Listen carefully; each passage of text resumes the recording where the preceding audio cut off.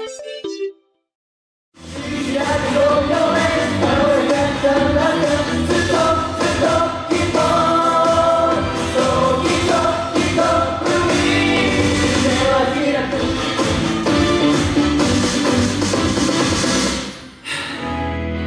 れやれ。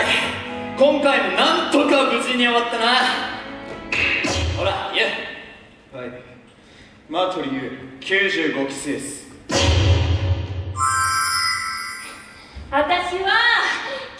97期生のすずです。お前たちが鍛錬を抱えしてないことは一目でわかる。マストメの言う通り次期ファルテのトップにふさわしいマルテの二人だ。ありがとうございます。ファルテの芝居がためになったなら今度練習を見学させてもらうかぜひよろしくお願いします。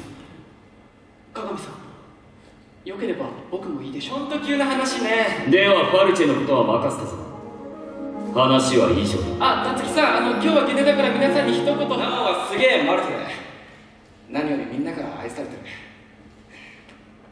るぶっちゃけ俺次のトップはお前がふさわしいって思う。そんなことない。王朝戦会いた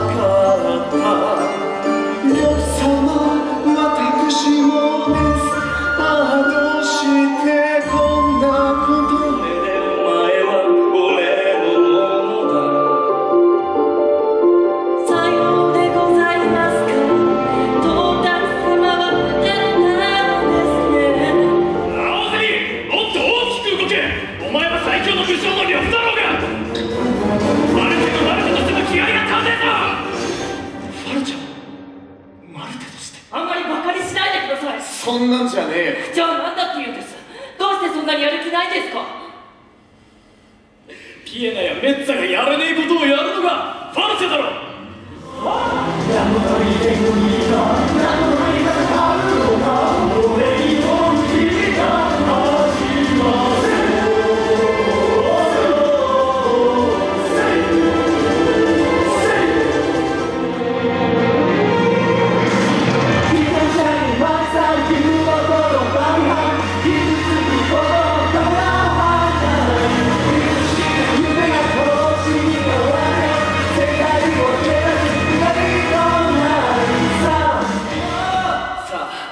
望む自分になれ。